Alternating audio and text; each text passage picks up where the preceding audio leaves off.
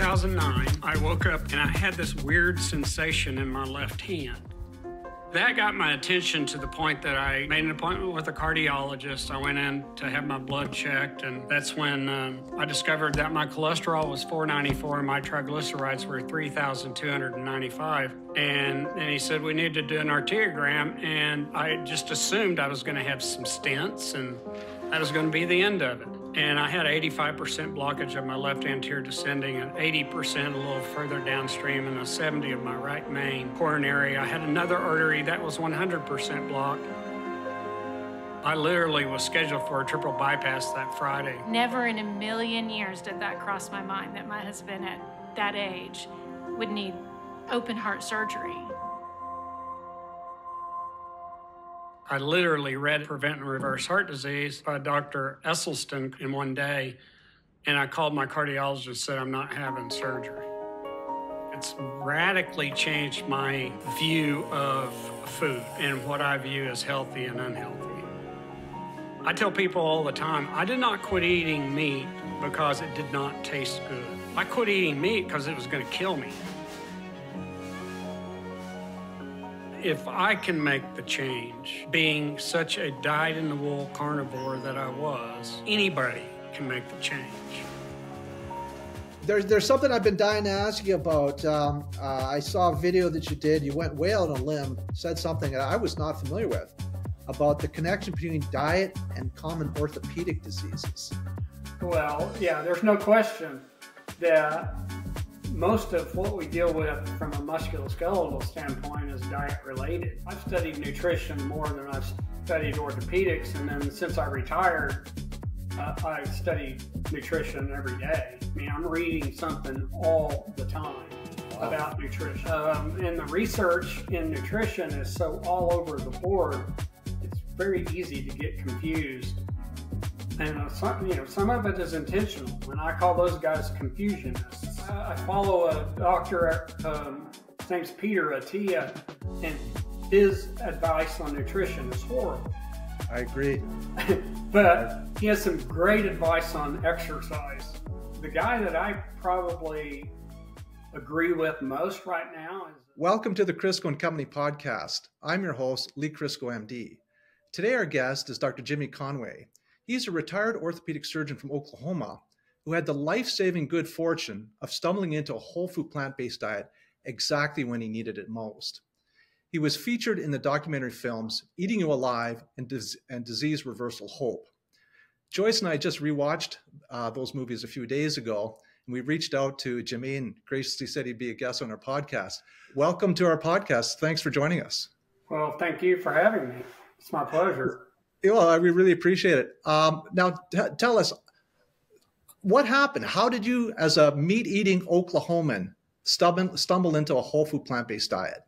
Well, um, yes, Oklahoma is basically the center of uh, meat eating, center of the universe, I think. So in 2009, you know, I was in my usual state of denial uh, about my health, and I awoken. I woke up one August it was August of 2009, and I had a strange sensation in my left hand. You know, the joke in medicine is the definition of a double blind study is two orthopedic surgeons looking at an EKG. There's a lot of truth to that. Uh, I know if there's no squiggly lines, it's bad, but that's about all I knew about EKGs. But I also knew that left uh, upper extremity pain could be referred from the heart. So I thought, this was a weird feeling. It wasn't like any of my pains that I've had from football. So I played mm-hmm. college football and had significant neck trauma. Uh, and so I've had a neck fusion. And I always said, used to say, if I ever had left hand pain like I have right hand pain, I'd be afraid I was having a heart attack. Well, mm-hmm. I woke up and I had this strange sensation in my left hand and I realized that it wasn't anything that I felt was musculoskeletal. So I thought it was referred. And so I thought, well, I better get things checked out. I'd not had a, a physical in years. Uh, I basically didn't have a primary care physician, so you know I was kind of like sideline consults with my primary care colleagues, uh, like for blood pressure or whatever. But I really wasn't, um, didn't have a good uh, medical treatment program going on.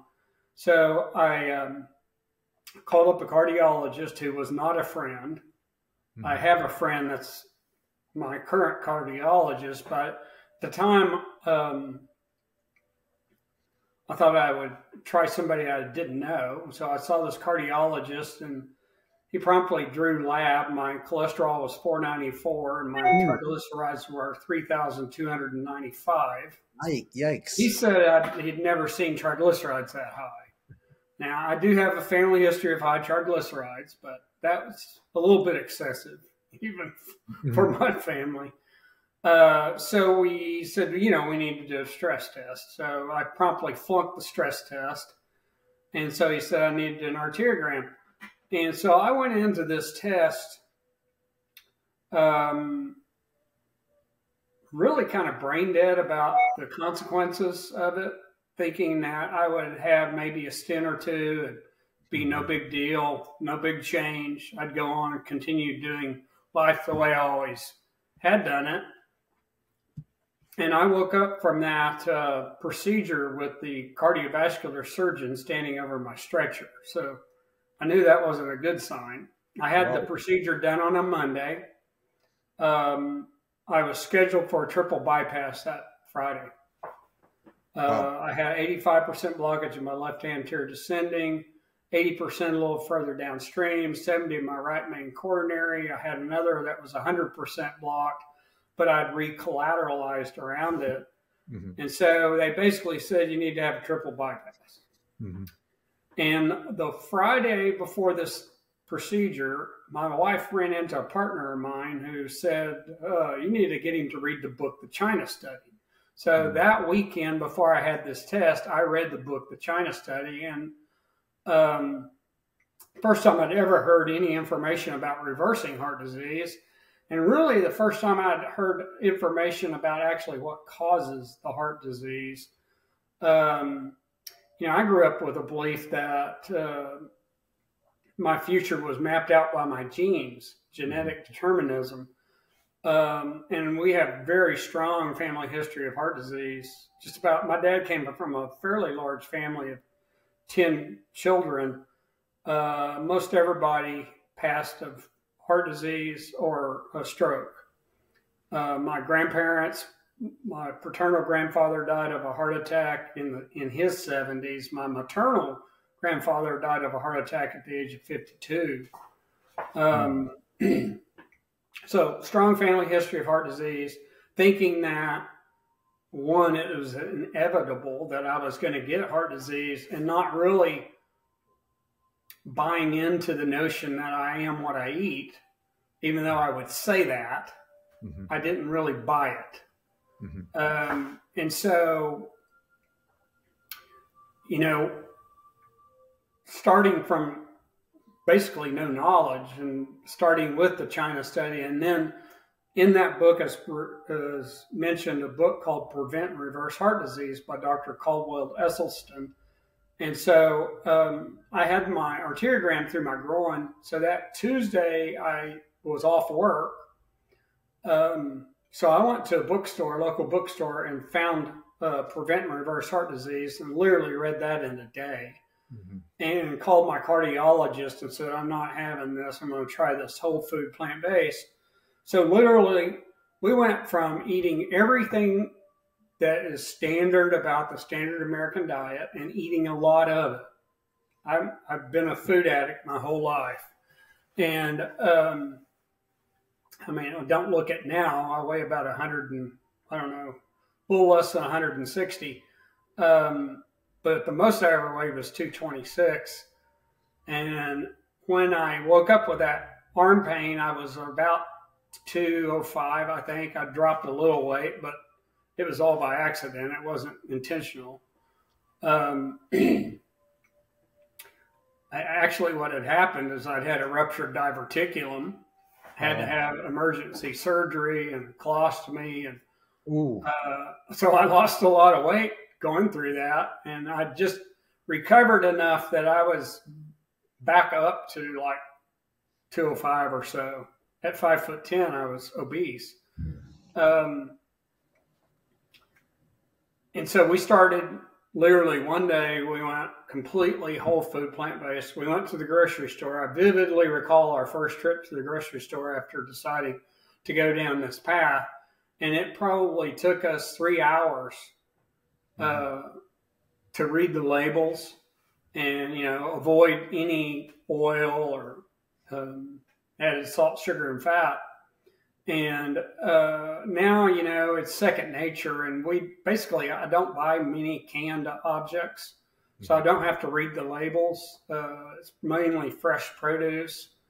Um, but that started our foray into whole food plant-based. And i mean literally it was one day uh, bad diet. Next day totally strict whole food plant-based the hardest part was the salt um, because I, I've always loved to salt my food. And, you know, not adding salt to the food, it took a lot of um, getting used to to get used to eating like that.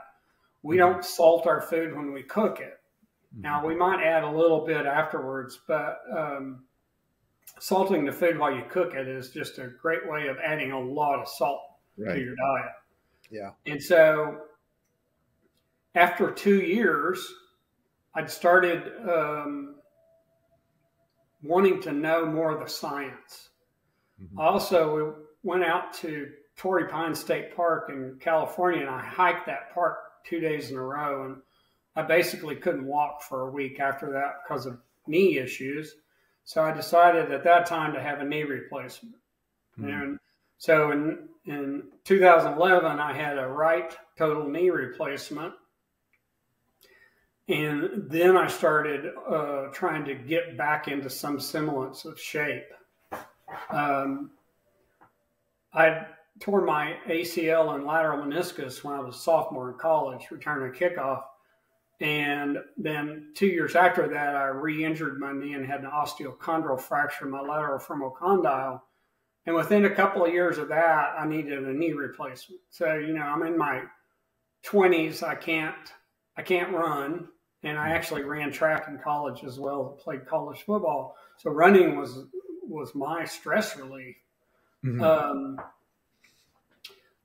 but that was, uh, I had to quit basically all forms of that type of exercise, which I really enjoyed. Um, and I made it from that age to 52 when I had my knee replaced um, by periodically having arthroscopies and kind of having it washed out and then injected with PRP and um, hyaluronic acid. I can't tell you how many times I've had that those injections. so after I had my knee replaced and started um, really looking at the science behind how this actually worked. So I did the Cornell online nutrition course with T. Colin Campbell. Um, and I actually went and met with Dr. Esselstyn in Cleveland. Oh, wow. Um, and so um, to, it was like two months after I had my knee replaced, I went to Cleveland um, and met with Dr. Esselstyn. And since that time, we've communicated. Uh, I was very strict uh, SC disciple for uh, a number of years. But then as I got to reading the science, some of the Esselstyn um, stance on like nuts and seeds, Mhm.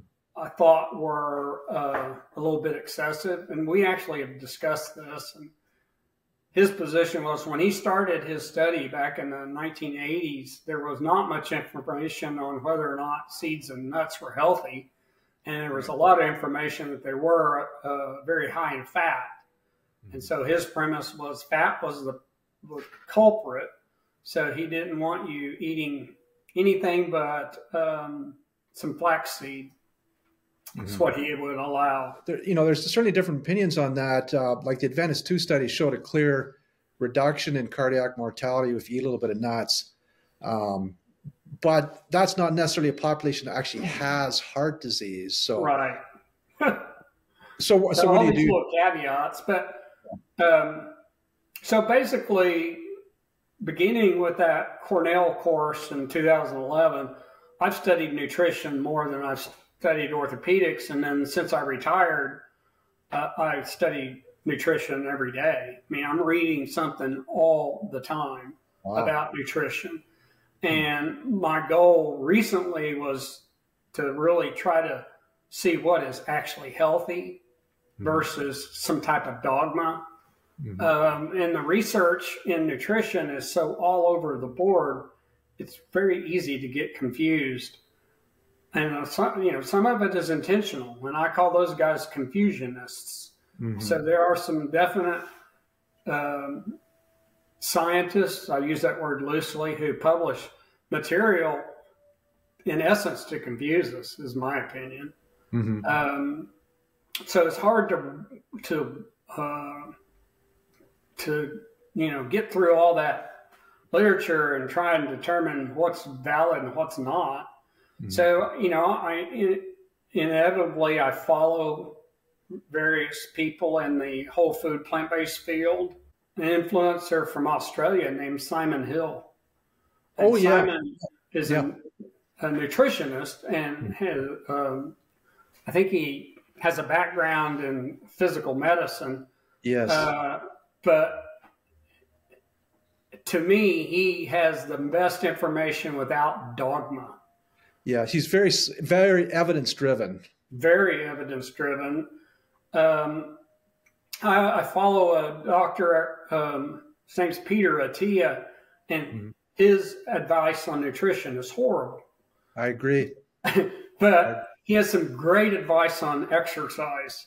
Mm-hmm. And he, I know that he has a mental block when it comes to nutrition research because he's a brilliant mind, mm-hmm. but he is just so much in a state of denial Mm-hmm. Um, he is, he basically says in his book that you have to eat meat to build muscle.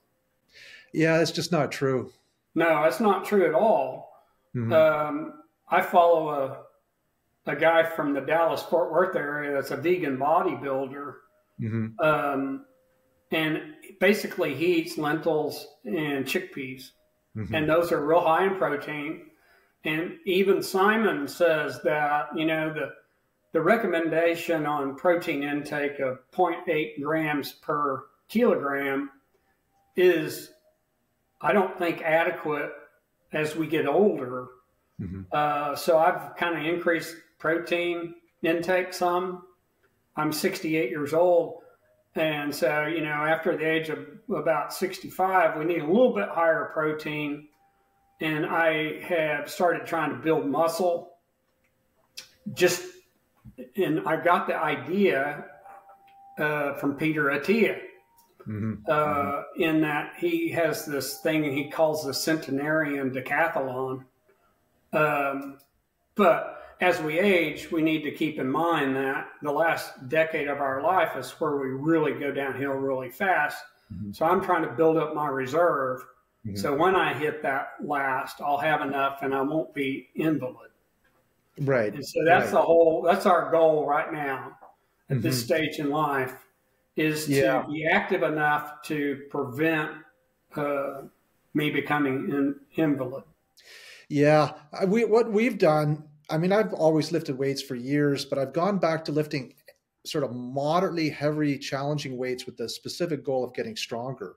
Right. Because the thing that is going to put you in the old folks home isn't your inability to run a marathon it's your inability to you know get up from a chair get out of a chair pick up your groceries you know that sort of thing so you know joyce and i are really focusing on very basic movements you know squatting d- down picking things up right. putting things overhead um, and i uh, i've been doing this since late summer and i've gained about 14 pounds probably most of it's muscle uh, much stronger and there's a guy on YouTube I follow, um, this young guy from Ireland named Clarence Kennedy. and he's an Olympic weightlifter um, who he does not compete, but he uh, actually is within like four or two kilograms of the world record on the total for the you know 100 kilogram, uh, and he's pure vegan, pure vegan. And I watched uh, you know what I eat in a day thing with him, and it was very similar to what we eat really. But I every once in a while I go on Cronometer and track my protein, and um, it uh, has me aiming for I think about 120 grams a day. Some days I actually don't hit that target, but I know I'm still getting stronger. Right. So it may be I don't quite need that. Some days I blow right past it, but um, uh, it may be I don't quite need as much as they say because clearly I'm getting you know stronger. And well, that's, that's my goal was to get stronger, not necessarily bulk up. Mm-hmm. You know, mm-hmm. I being retired, I got to do a deep dive on muscle building and mm-hmm. you know mm-hmm. This whole protein thing in my mind, I don't think we really have protein requirements as much as we have specific amino acid requirements. Yeah. And the specific amino acids, though, you know, leucine seems to be a neurotransmitter type mm-hmm. molecule that uh, we have to have a certain amount to start muscle protein synthesis. Mm-hmm you know, the guys that really get into the science of muscle protein synthesis, those are the guys that seem to basically state you got to have muscle, you got to have meat to build muscle. Mm-hmm. Um, but we have a circulating amino acid pool. And I know uh, last year I did an eight day water only fast and I lost weight the first three days I did not do it to lose weight. I did it to see if I could actually do it because I'm so afraid of being hungry mm-hmm. because of past experiences. Um, and I'm convinced that my hunger is a mental game, it's a habit. Mm-hmm. Um, and so I, am always testing okay, am I really hungry or, or am I just craving something? Mm-hmm. mm-hmm. You know, I have this area in my brain where it remembers food taste very, very, very well. Mm-hmm. and so if food is really reinforcing, it's not satiating. Mm-hmm. And that's what causes us to overeat. And mm-hmm. I think our main problem, uh, I, I, I, there's no question that whole food, plant based, is the healthiest for humans. Mm-hmm. But our main problem in the United States is we eat too many calories. Right. And our caloric intake has gone up so much. It exactly, and it only takes about 300 extra calories a day to tip you into metabolic disease. Right. And we easily eat over 300 calories a day in mm-hmm. excess mm-hmm. as an average. Yeah. Um, and that's why we're fat, sick, and nearly dead. That's why right. I was fat, sick, and nearly dead. Yeah, yeah. I mean, if you go back hundred years, the amount of oil people consumed in a, oh, a yeah. year was like three pounds or something, but now it's over seventy. Right. And same sort of tra- trends with you know white flour and and and meat and right. uh, and sugar, and it's really not a mystery that we've all gotten no. bigger. No, it's you know, and the, the myth that's out there is, you know, they changed our food recommendations in the 80s. And so they started recommending all this low fat, and we went from low fat to high carb, high mm-hmm. processed carb, which we did go to high processed carb, but we mm-hmm. never have dropped our fat intake. We mm-hmm. eat more fat today than we've ever eaten. Right. And, you know, when I was doing my seminars, I would have these sayings to get people's attention. And one of them is the effing F's of nutrition. It's not what you're thinking. It's fantastic facts, fabulous food. Mm-hmm. And, um, you know, one of them was the fat you eat, the fat you wear. Well, that's not right, quite true. Mm-hmm. Because there's some fat you can eat that's actually not harmful and it's probably good for you. There are some fats that we actually require. Mm-hmm. Um, and it seems to be that what we really need to steer away from are saturated fats. Mm-hmm. Mm-hmm. And probably trans fats too. Well, yeah, no question about trans fats. What are your thoughts on on the omega fats? Since we're talking about fats, um, there's differing opinions on whether or not, as somebody that's entirely whole food plant based, whether or not we should supplement with the longer chain fatty acids, you know, the DHA and EPA. Um, they'll say, well, if you're eating lots of, you know, um, walnuts and chia seeds and that sort of thing, you can synthesize those longer chains. Do you think that that's true, or do we need to take a supplement? Well, one, I don't think we can synthesize from ALA the EPA and DHA uh, real efficiently, mm-hmm. and that uh, efficiency goes down as we age. But the only thing I've been able to determine from looking at the studies on taking omega 3s is that it increases your risk of uh, atrial fibrillation without any clear cut evidence that it works for longevity. Hmm. Now, I have at on time, I have taken omega 3s. Uh, when we take it, it's from algae. Mm-hmm. Mm-hmm. Um, I don't think you can decontaminate the fish. So, right. Even yeah. though they claim to have decontaminated fish oil, yeah, I just you, stick with the primary source. You you can get the heavy metals out, but you can't get the organic pollutants out. So that's why we do the same thing. We take the algae based. Um, we've been taking a low dose algae based for a while. Uh, Dr. Fuhrman uh, is a big fan of, of doing that. Um, so we've been taking a little bit. I mean, I still have some concerns. You know, it's possible that maybe these bottles of, of the pills have been sitting in a hot truck oh, for yeah. a while, and you know that they're um, uh, oxidized. oxidized. So um, now, on the other hand, we do we eat a lot of green vegetables. We eat nuts every day, chia seeds, that sort of thing. So we are getting the ALAs as well.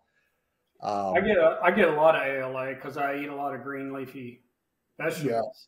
Yeah, yeah we do um, that. But um, I'm not sure the EPA and DHA is effectively made at, at my age mm-hmm. from ALA. But right. also, yeah. I haven't tested it. I haven't yeah. gotten a blood test to see what my omega 3s levels are. Mm-hmm. Um, I, don't feel that that's that important. I mean, I'd rather know my ApoB level and my LP little a level than that. Yeah. Yeah. LPA lipoproteins that. Yeah, know. lipoprotein A is an issue for me. Uh, mine runs almost three times the reference range. Um, and of course, it's probably mostly genetic. Right. Um, I did see a cardiologist back in 2019 because I, had just gone through a divorce and it was really stressful at work, this, that, and the other thing. I was getting like relentless uh, palpitations. I mean, they were just oh. relentless. So I got the full cardiac workup. And um, what the cardiologist said, you know, I'd been on a whole food plant based diet for a while. She said, What you're doing, uh, there's no pill that can do that. You know, I wasn't, I wasn't, I, my, uh, my cholesterol was 330, went down to 143 my triglycerides have always been good. And then I had been pre diabetic, and that completely had cleared up. And she said, What you're doing is better than any medicine. Um, she actually suggested I go on a low dose statin to get my cholesterol down even lower, but I chose not to because my dad died of a, uh, a myopathy that may have been induced by taking statins. Yeah. Um, so that kind of scared me off. But I mean, it's very, it's a motivator to really stick to the diet. Yeah. Um, but unfortunately, at this point, there's not a heck of a lot you can do about lipoprotein A specifically, unless maybe you know something you can share with me. Well, I was thinking a PSK9 PCSK9 inhibitor might uh, help with the LP a. Oh, is that right? Uh, it's that's my understanding. Now I don't know because I had mine tested last year nobody knew what to do with the levels when I got the test results back. Mm-hmm. So I kind of felt a little silly. Um, and, you know, what we do right now in terms of trying to, to, um, we do time restricted uh, eating right now, which helps. That helps my hunger because mm-hmm. I know what I've done is I've trained myself our last meal is a, usually about 5.30 5 to mm-hmm. 5.30 mm-hmm. you know mm-hmm. this whole thing about when you eat during the day makes a huge difference in your blood sugar response mm-hmm. we've done continuous glucose monitoring i think those are actually kind of dangerous because those people want to keep your glucose under 140 at all times. So they don't want you to have any spikes over 140. Being non diabetic, I don't see the, the literature that supports that. Mm-hmm, mm-hmm. Um, and I think, you know, it is good to see how my body responds to certain foods in terms of blood sugar responses. Mm-hmm. But I try not to let the continuous glucose monitor affect what I eat, but it is difficult when you got that thing on. You know it. If you're going to eat a bunch of like oatmeal, that spikes my blood sugar really high. Oh, uh, is that right? Yeah. Yeah, and it, it was it shocked me and it scared me, so I quit eating it.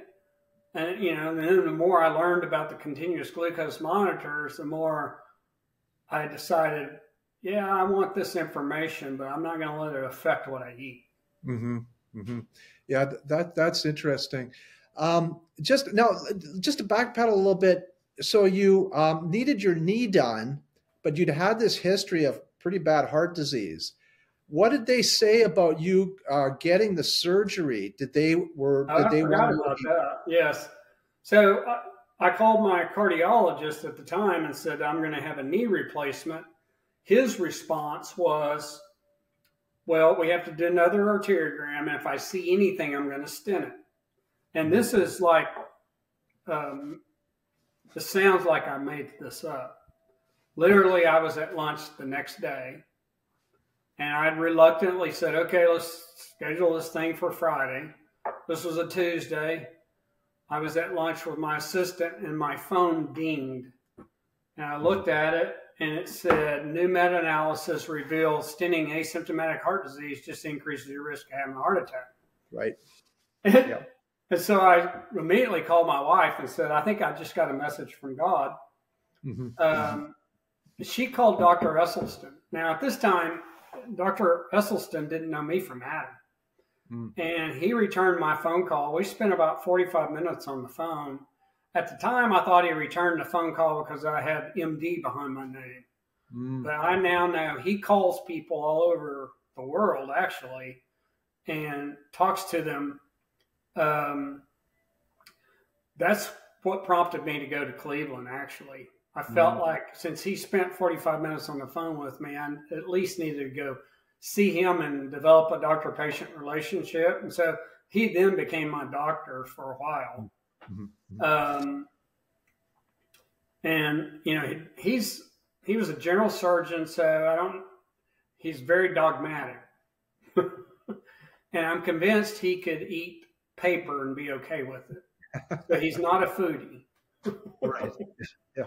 And so I mean, I spent four hours on the phone a few months ago with a guy that Esselstyn had basically offended because the guy was losing weight so quickly. And Dr. Essie said, Well, I've never had anybody just blow away. And so he just wasn't concerned with his weight loss. This guy was into under 140 and he's five foot 10. Oh, yeah. And so I convinced him to start eating some nuts, go against Essie in that yeah. regards. Yeah. Or you can eat uh, like avocados and um, right. uh, dates, you know, pretty high calorie. Um, avocados yeah, are great. we eat a lot of avocados as well. Yeah, um, yeah. And that's a that's a Essie no no. So he doesn't yeah. want you to have any avocado. Mm-hmm, mm-hmm. Um,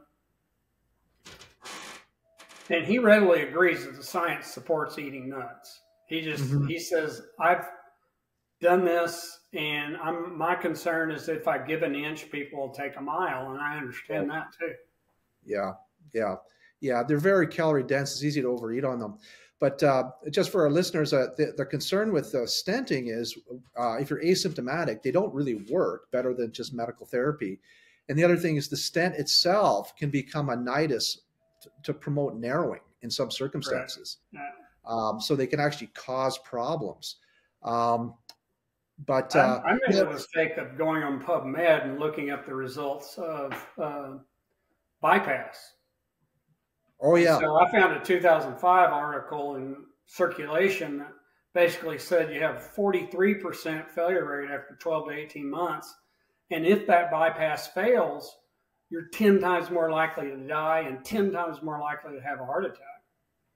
And when I read that, um, I immediately did not want to have bypass surgery. I read that, mm-hmm. I looked that article up that uh, Tuesday when I'd read Essie's book. I got on PubMed and started saying, okay, I need to verify some of this stuff. And um, I was shocked at that article. I mean, you know, I was a shoulder surgeon. If my shoulder surgeries failed at that rate, I would have been out of business. Mm-hmm. But mm-hmm. the good thing about this is they just bury their mistakes. Right. Yeah. And and my I mean you've obviously looked into this deeper than I have, but my understanding even with, you know, actual surgical bypass, it it really doesn't do anything to improve mortality. It's really just about uh, improving symptoms, unless of course like, unless it's like an unstable situation, you know, where it's a crisis. Well, um, only time it, any of that stuff has been shown with the current literature to be helpful is while you're having a heart attack. Right. Right. Uh, yeah. And you know, it's I understand the thinking. I mean, mm-hmm. I was a surgeon. I know mm-hmm. to, a chance to cut is a chance to cure. That's the right. way we think. Yeah. But you know, when you're slapped in the face with harsh statistics like knee surgery arthroscopy and in older patients is just doesn't pan out. Mm-hmm. And if you're 65, your chances of having a success, successful knee scope are pretty low. So to go in there and do what I did to my knee and clean it out to buy time doesn't make sense when you're in your 60s. Yeah, uh, it was funny. I, I just read an MRI the other day, just on Friday, of a 60 something year old with knee pain there was no X-ray to be seen. I mean, there was cartilage loss and the joint effusion, just like sort of raw exposed bone, and and I was thinking an X-ray would have answered the question. Um, you know, what whether whether he's got a little bit of a tear in his meniscus or whatever is almost a moot point. Yeah, almost, you're right. Yeah, you know, he pretty much needs a knee replacement. But but before we get into the connection between orthopedic diseases and and nutrition, which I know you have some very interesting thoughts on, just to backtrack a little bit, are there any other supplements to consider if you're on a whole food plant based diet? Vitamin B12 probably is the number one that comes to mind. Mm-hmm. Um, and B12 deficiency can be pretty uh, bad and also create permanent problems. Yeah. So uh, we take B12. Um, I do take some other supplements, some of this anti-aging stuff that we've done. I can't say that it's either here nor there. I don't know yet, but mm-hmm. um, one of the supplements that I take is glutathione, which I, for me, has made a big difference in how my body uh, feels and reacts to oh. things. Oh, really? I, I, I thought that the problem with glutathione is like it wasn't all that absorbable by mouth. it's not. We give ourselves shots. oh. Oh. Yeah, I you, a sub Q shot uh, five times a week. Uh, is that right? They have some liposomal uh, glutathione, but it's like two dollars a pill. I mean, it's oh. pretty expensive. Now mm-hmm. the injectable stuff's not cheap either, but um, you know, I've had problems with high blood pressure my whole life. Mm-hmm. That really wasn't controllable on antihypertensives. Mm-hmm. Mm-hmm. So one of the things that uh, a couple of years ago I had COVID, and I had a hypertensive crisis with it. My blood pressure was 244 over 144. Oh, wow. At 5:30 one morning. So I called my cardiologist, who's my friend, woke him up, and um, that I had a CT uh, arteriogram of both my chest and my abdomen. He was looking for kidney issues and that kind of stuff with that blood pressure response to the COVID like that. Mm. Um, that's where I discovered. So previously, I'd had a CT scan, I think around 2011, that showed uh, non-alcoholic fatty liver disease, mm-hmm. which makes sense with triglycerides that high and cholesterol that high. I mean, yeah. that goes hand in hand. Um, but my scan a couple of years ago showed that that had completely resolved. Yeah, I would expect that with the switch to the whole food plant based diet. I see fatty liver all the time. At yeah, least yeah. every every fourth patient, at least, has it on a scan. I feel like a broken record. I don't know if the doctors, you know, when they see that in the report, if they actually address it with the patients or not. Um, yeah. But it's a real, I think, a harbinger of really serious. I don't, I don't think mine was addressed at all. Mm-hmm. Yeah. I don't even yeah. remember any mention of it by. Yeah, I don't. I think it. I was the only one that placed significance on that. Mm-hmm.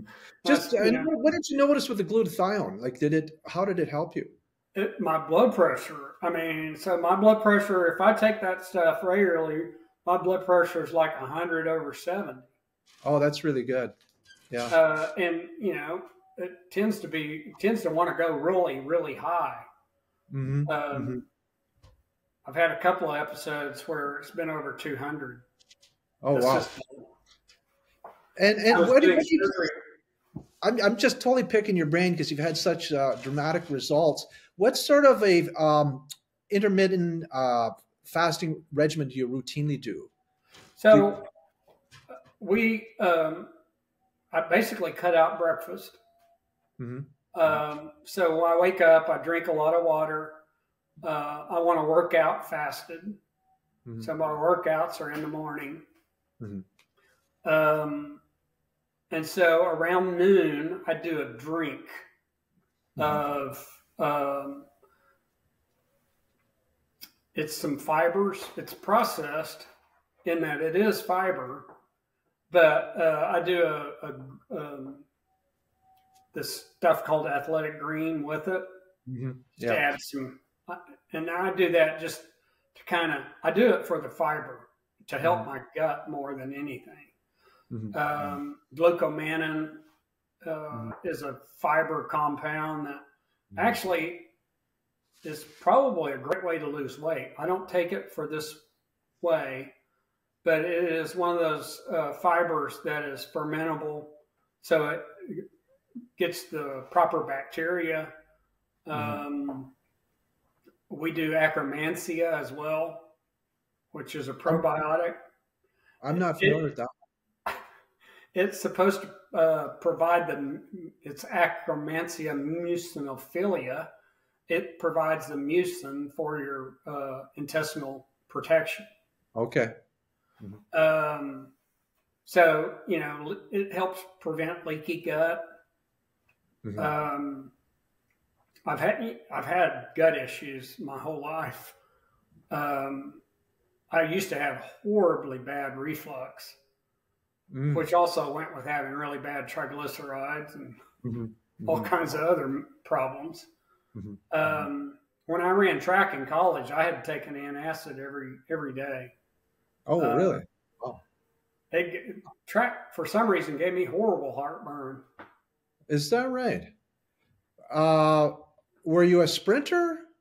I was a quarter miler, so kind of in hmm. betweener. Yeah, uh, that's that's that's really odd. I would never have expected that. I was just going to speculate that maybe as a sprinter, like that really hard exertion would maybe get, you know, like sometimes weightlifters will get reflux. Right. Uh, but who, I don't know. It probably had to do with what I was eating too at the time. Yeah. Yeah. Extremely meat centric. Yeah. I mean, yeah. I was the guy that would um, just eat meat. Mm-hmm. Mm-hmm.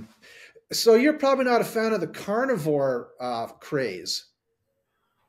It's um, interesting that another orthopedic surgeon really promotes that. Mm-hmm. Um, I investigated it because I didn't believe it. Mm-hmm. Um, and there's no way he does what he says he does, or at least mm-hmm. what I heard him say on the Joe Rogan show. which was he only eats meat. I Mhm. uh, went onto a website and pulled up his uh, meal plans, Mhm. and basically it's uh, low starch vegetables that he eats along with meat.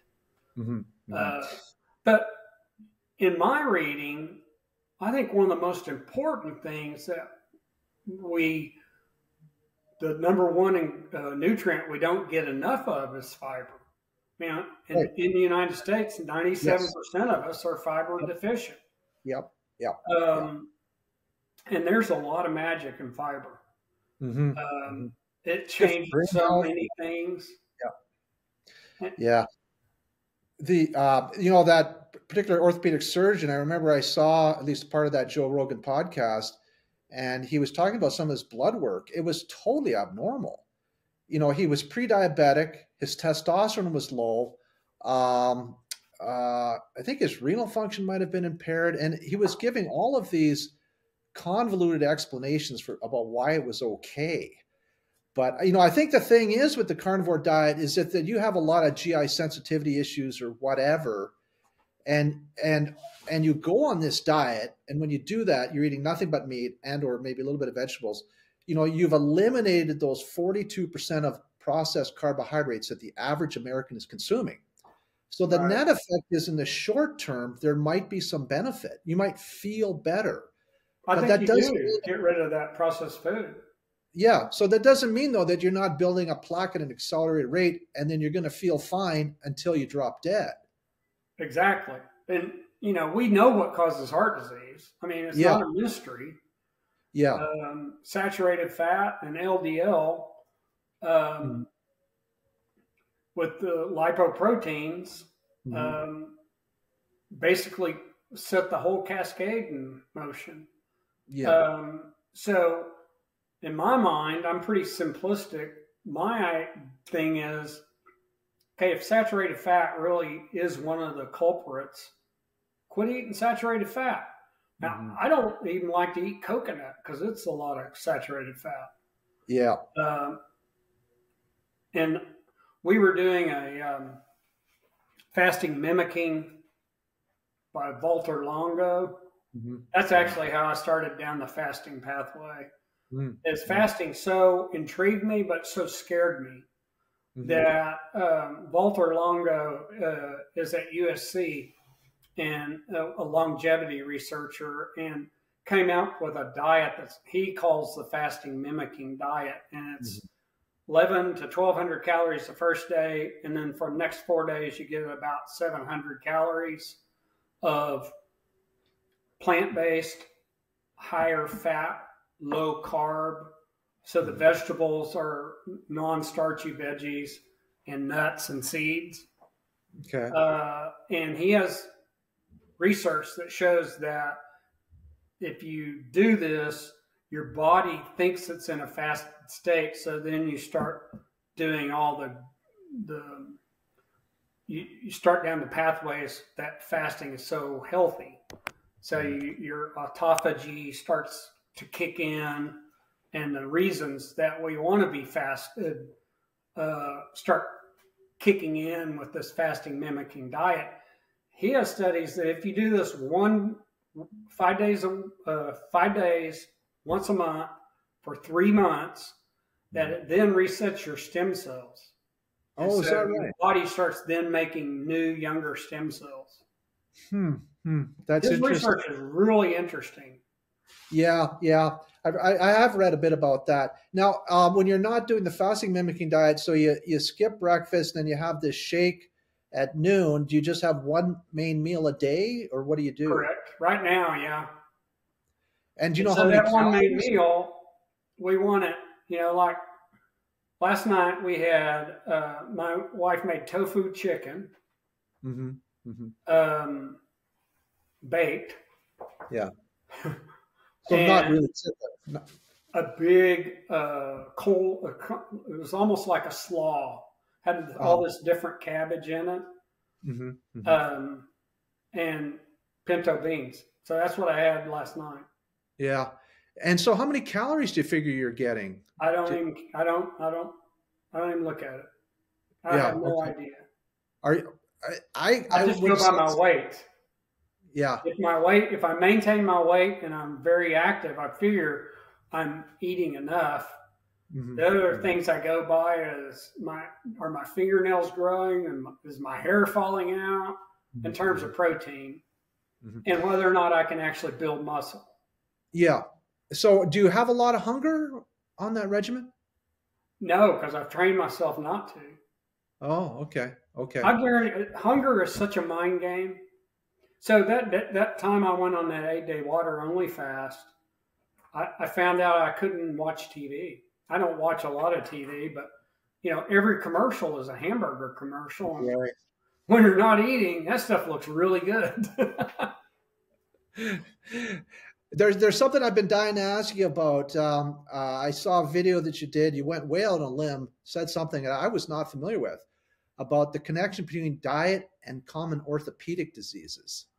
Well, yeah, there's no question that most of what we deal with from a musculoskeletal standpoint is diet related.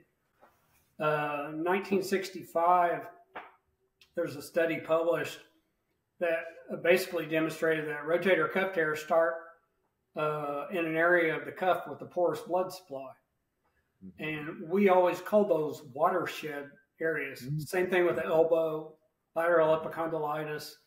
Um, the tendon attachment doesn't have great blood supply, so you get a little tear. It's really hard to heal.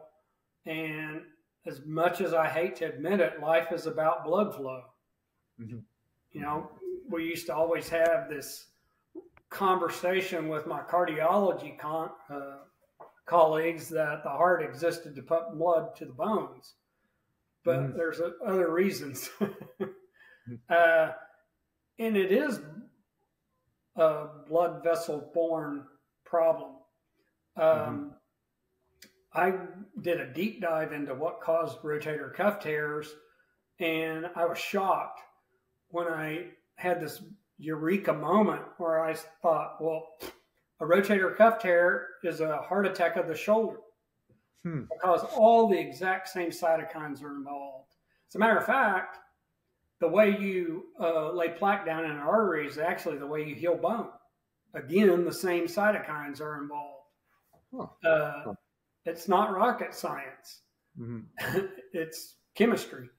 Mhm. Um, and you know, I had this moment where I went, "Wow, rotator cuff tear and heart disease is essentially the same thing." That's Uh, and then I went, I literally said to myself, "You idiot! Biological systems are very efficient." And so we wouldn't devise some way to try and fix an injury and then some other completely different way. So it makes sense that, yeah, we use the same mechanisms pathologically that we do physiologically. Mhm. Um, and rotator cuff tear is a pathologic condition. Mhm. Uh, but, you know, 50% of us by the age of 70 have full thickness rotator cuff tears and are totally asymptomatic. Mhm. Mhm. And so that was very frustrating treating rotator cuff disease because you don't treat a normal uh, structure. You're treating something very abnormal and trying to make it normal, and it's very difficult to do that. Mhm. The literature, uh, the rate of re-tear from rotator cuff repair ranges from 3% to 97% in the literature. Oh, so it's wow. all over the board. Yeah. But Yeah. it's not a great healing environment because it, it develops in a an environment that has poor blood supply as its main cause. Now, are you aware of any data uh, supporting an improved diet and uh, improvement of uh, rotator cuff symptoms? No, I, I, I don't know of any study that's been done like that. Mhm. Um, you know, having rotator cuff symptoms is pretty common. yeah. Um, I've been dealing with one in my left shoulder for over a year now. hmm hmm So I think what I did was uh, tore my teres minor, doing some real rigorous swimming Oh, that's- maneuvers. That's less common than the other rotator muscle, muscles. correct, and that's what's uh, baffled me because my Yeah. pain in my shoulder and the area that's swollen is in the back of the shoulder, and you know it's like I treated patients for I've been a doctor for forty years and never saw that. Yeah. Yeah. Uh, but leave it to me to come up with something unusual. Yeah. Now, are you, uh, do you speculate on any connections between diet and any other common orthopedic diseases like osteoarthritis? Oh yeah, it, I mean, so it, it has to do with inflammation. Mm-hmm. um, and our inflammatory pathways. Um, me personally, when I was in my 30s, I hurt everywhere. You know, I hadn't Mhm. played college football. I was eating horribly. Uh, and I made the statement that in my 30s that I don't know if I was going to make it through my 40s. Oh, wow. I mean, it was a very painful existence. Uh, horrible back issues, neck issues. I've had neck fusion. I need a two level back fusion, but there's no way I will have that because those don't work either. That's right. Yeah. Yeah. Yeah. Yeah. Uh, it's shocking how ineffective uh, spine surgery is without it's really. shocking how ineffective surgery is to me.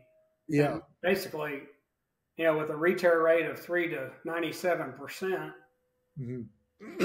it's hard to we can make we can make that patient feel better Mhm. but they may not have an intact cuff Right. Right. Yeah. um, Yeah.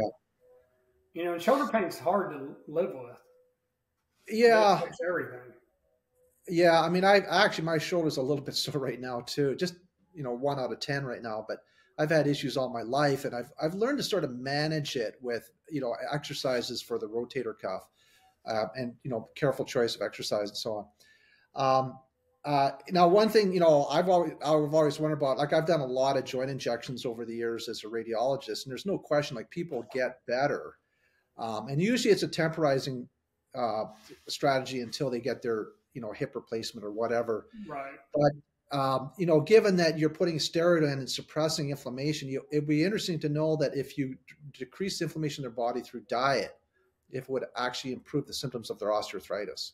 oh it, it did in me tremendous Yeah, yeah, it would be interesting to have a trial on that. yeah Um, it, inflammation though is so variable in terms of it's kind of like nutrition, you know, because so here's what I've learned. So my microbiome puts out a metabolome, mhm, and that can change based on how I'm feeling emotionally. Mhm. Will change my metabolome. Mhm. And so that's one of the things that I think makes nutrition research difficult mm-hmm. because you can't lock everybody up in a ward. Not, not for too long. Yeah, and really, you know, prescribe it. So, and so I may eat something one day that I don't get inflamed with, but it may be because I'm in a happy state of mind when I'm eating, mm-hmm. and I may be conflicted and thinking about something that's got me upset. And if I eat in that environment, I'll have a different metabolome. I'll have different metabolites in my body from the Mhm. same bacteria. Mhm, mhm. And what I know now about our hunger is our microbiome is communicating with our brainstem. Mhm. So it's not even going to the higher cortical areas. That communication is going, and there's nine times more information going from the gut to the brain than from the brain to the gut. Oh wow. And so, you know, that vagal nerve that serves a huge purpose, and most of it is opposite of what I thought. Same thing with the heart. There's mm-hmm. more neural information going from your heart to your brain than from your brain to your heart. Wow. They call that your heart brain. My gut Yeah. brain and my heart brain can completely override my cortex. Mhm, mhm. And this communication is going on all the time through metabolites, through neurotransmitters, through short chain fatty acids. There's all these different communication chemicals that's going on. And I saw it in my office all the time. People would mindlessly eat, and they wouldn't even know what they're doing mm-hmm. because their cortex wasn't engaged. Right. It's right. just this communication from the microbiome to your brainstem saying, "Hey, I'm craving this," or "I mm-hmm. want such and such."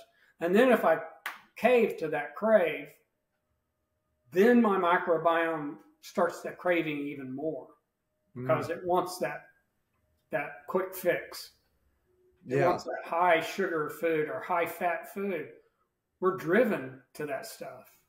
We mm. wouldn't have survived as a species. Right. I mean, we survived better by eating, you know, high cal- calorie uh, foods when they were available, and but of course they weren't available in a junk food form. Correct. Uh, yeah, and they weren't yeah. available that often either. Right, right. I mean, maybe the sweetest thing might be kill a big antelope and five or six of us just gorge on that thing, but we might not eat again for three or four days. Right. Or if we right. came across honey, we could just gorge ourselves on honey. There's no satiation with honey. Yeah. Yeah. And that's if a food is reinforcing, mm-hmm. and that means habit forming, mm-hmm. uh, it is not satiating. Mm-hmm. The most satiating food tested is a potato. Yeah. Yeah. Which, you know, who, who knew, you know? Yeah. yeah. Yeah. So, uh, I, I've tried to use some of that knowledge to help with my fight with hunger. Mm-hmm. Mm-hmm. Uh, you know, so and if I if I'm during the day, if I feel like I'm getting hungry, I'll have a couple of nuts. Mm-hmm. Um, we actually have um, back in Oklahoma, we have jars of nuts and shells. Mm. So I, I don't like shelled nuts because they're too easy to overeat. Right. Yeah. So you know, my pecans and walnuts are in shells. So I have mm-hmm. to crack them and get them out and eat them. Um, but I've, I've developed these strategies because I know my addictive mind wants food and wants it right now. Mm-hmm. But it's a what I do with the nuts is we keep a like a one quarter cup thing in the jar of the shelled mixed nuts. So I just have like one scoop uh, once a day, and I figure yeah. that that's the right amount. Um, but you know, it's these relationships are really fascinating. Like I mentioned a, few, a number of years ago, I was having those issues with these relentless palpitations. Well, they did the big workup on me and left no stone unturned. Well, it was just purely stress. It was just wow. pure stress, and they they just faded away. And you know, I I, I don't get them anymore. Um, but it's amazing that connection between the mind and the body. Um, you know how tight that link is. But uh, well, we've been talking for over an hour. It's been a great conversation. Uh, oh, I wasn't even aware we've been talking. Yeah, yeah. Uh, it's been a great conversation, and uh, um, you delved into some fine points I wasn't quite aware of. So uh, I really enjoyed it, and hopefully we can do it again sometime. Sure, my pleasure. I'll talk food whenever. okay, sounds good.